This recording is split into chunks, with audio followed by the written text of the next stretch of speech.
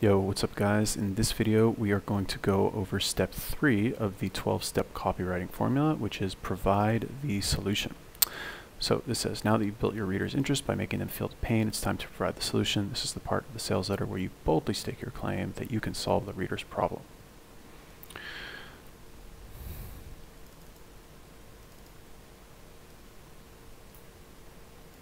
So, the moment everything changed.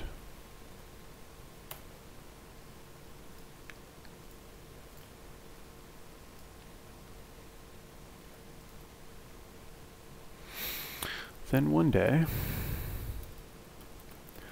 one day I was got a message from my friend John. John had seen some of the videos that I'd made on my YouTube channel about Paigham bot. Those of you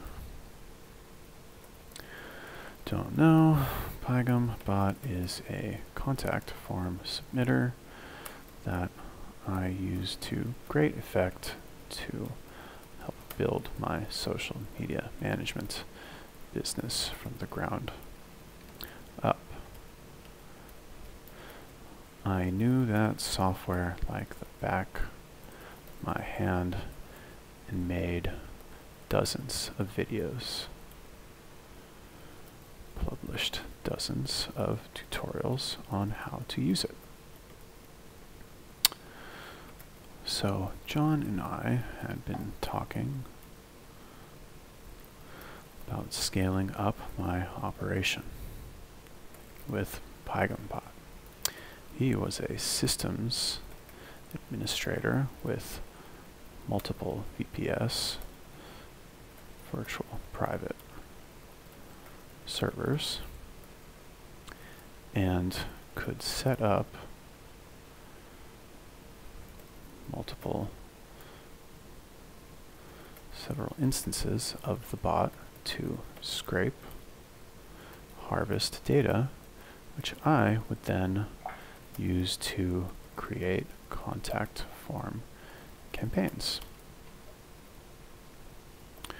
Our idea was to create a lead generation business and sell leads to anybody who needed them.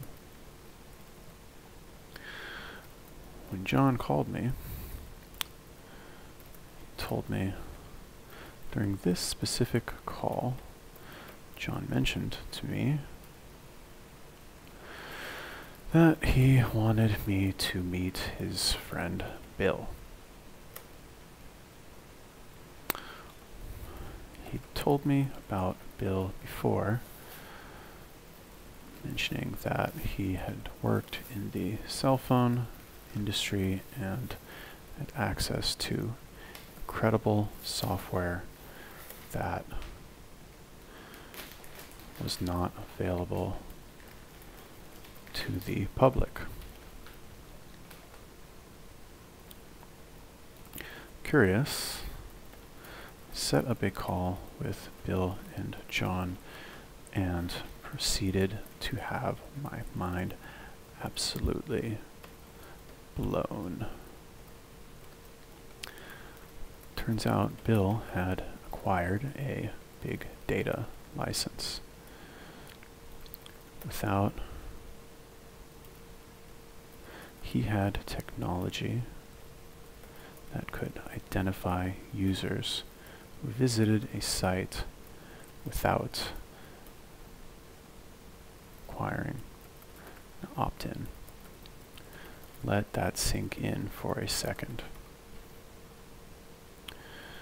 Normally with um, uh, right with um, lead generation and sales funnels you need the user all this work oh, to fill out their details in opt-in form before you can contact them. Do all this work to get them to your website.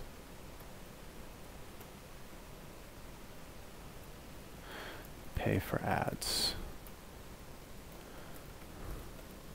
Solo ads. You write blog, write articles, make videos, sell your damn soul to get them to your website. Then what do those stupid customers do? They don't even fill out your damn lead capture form. Unbelievable. But with bills, technology, none of that would be necessary. All I would need to do would be to drive traffic to the site, bill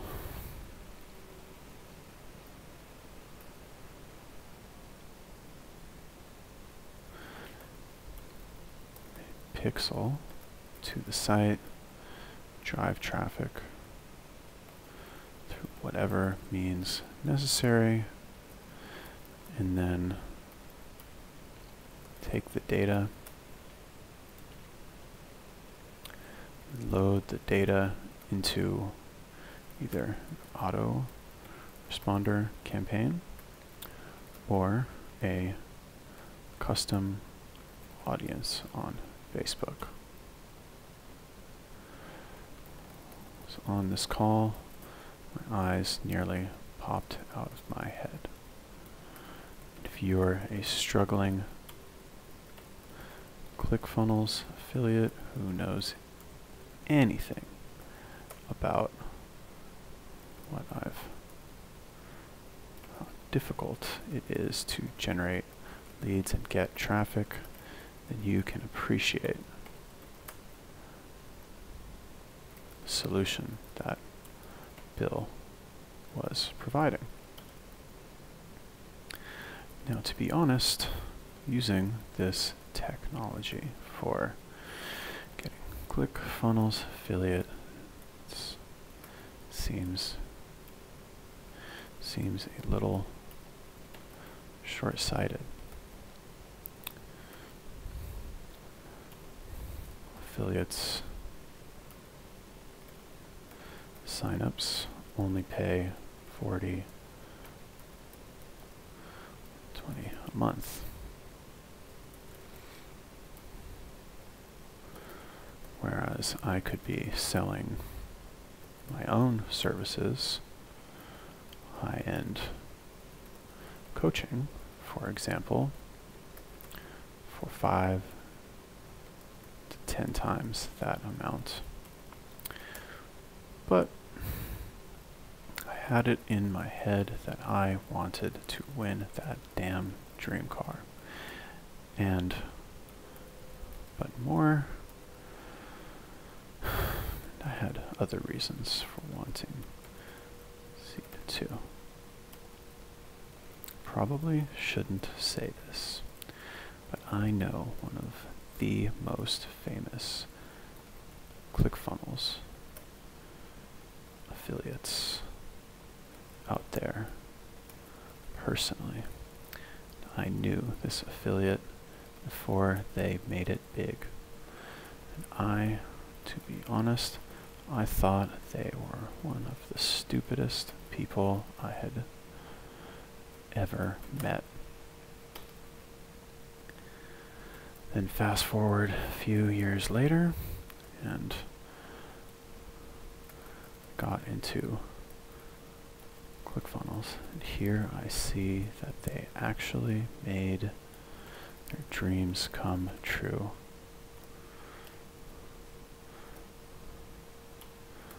I had my reasons for wanting to succeed with ClickFunnels. They honest, good reasons? Maybe. But they were powerful enough to make, motivate me to do what I did. All right, so anyway, that's a little dramatic, but um, you get the idea. Now this is way longer than I planned it on being. Um, but they say that long copy outsells short copy. So keep that in mind. You know, don't be afraid to write a lot because like, you know, mm, like I have a blog and I've noticed that like, you know, and I write very long articles. Like my articles are like 5,000 words minimum. And I have a lot of people who, you know, there's a difference between like writing something that's like 300 words or like a tweet that's like good, but like honestly, how much can you say in a tweet or in like a 300 word article or 500 word article?